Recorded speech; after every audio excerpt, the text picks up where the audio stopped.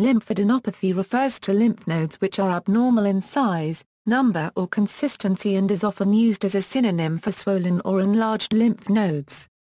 Common causes of lymphadenopathy are infection, autoimmune disease, or malignancy. Inflammation as a cause of lymph node enlargement is known as lymphadenitis. In practice, the distinction between lymphadenopathy and lymphadenitis is rarely made. Inflammation of the lymphatic vessels is also known as lymphangitis. Infectious lymphadenitides affecting lymph nodes in the neck are often called scrofula. The term comes from the word lymph and a combination of the Greek words adenos and pathos. Types Localized lymphadenopathy, due to localized spot of infection for example, an infected spot on the scalp will cause lymph nodes in the neck on that same side to swell up. Generalized lymphadenopathy, due to a systemic infection of the body for example, influenza or secondary syphilis, persistent generalized lymphadenopathy, persisting for a long time, possibly without an apparent cause. Dermatopathic lymphadenopathy, lymphadenopathy associated with skin disease. Causes, lymph node enlargement is recognized as a common sign of infectious, autoimmune, or malignant disease. Examples may include, reactive acute infection, or chronic infections.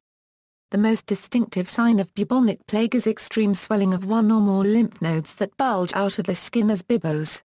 The buboes often become necrotic and may even rupture. Infectious mononucleosis is an acute viral infection caused by Epstein-Barr virus and may be characterized by a marked enlargement of the cervical lymph nodes. It is also a sign of cutaneous anthrax and human African trypanosomiasis, toxoplasmosis, a parasitic disease, gives a generalized lymphadenopathy.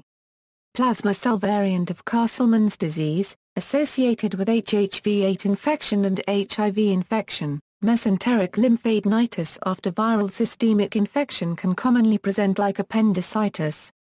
Less common infectious causes of lymphadenopathy may include bacterial infections such as cat scratch disease, tularemia, brucellosis, or prevotella. Tumoral, Primary Hodgkin lymphoma and non-Hodgkin lymphoma give lymphadenopathy in all or a few lymph nodes. Secondary, metastasis, Virchow's node, neuroblastoma, and chronic lymphocytic leukemia. Autoimmune etiology, systemic lupus erythematosus and rheumatoid arthritis may have a generalized lymphadenopathy. Immunocompromised etiology, AIDS, Generalized lymphadenopathy is an early sign of infection with human immunodeficiency virus, the virus that causes acquired immunodeficiency syndrome. Lymphadenopathy syndrome has been used to describe the first symptomatic stage of HIV progression, preceding a diagnosis of AIDS.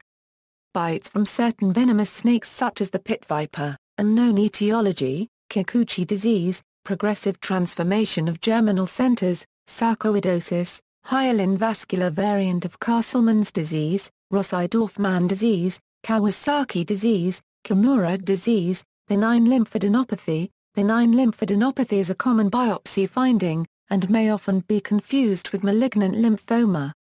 It may be separated into major morphologic patterns, each with its own differential diagnosis with certain types of lymphoma.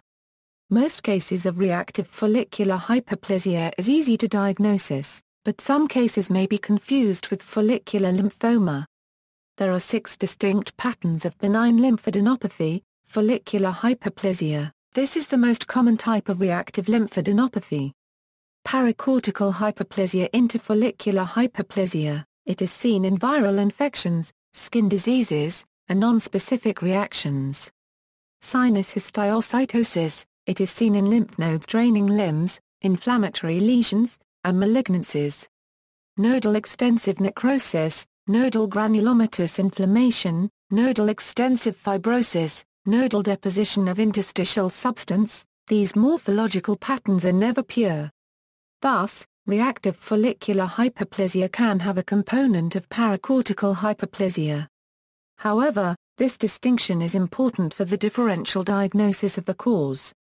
Localization, mediastinal lymphadenopathy, bilateral hilar lymphadenopathy, see also, adenitis, lymphovascular invasion, references. External links, HPC, 13820 on Humpath.com.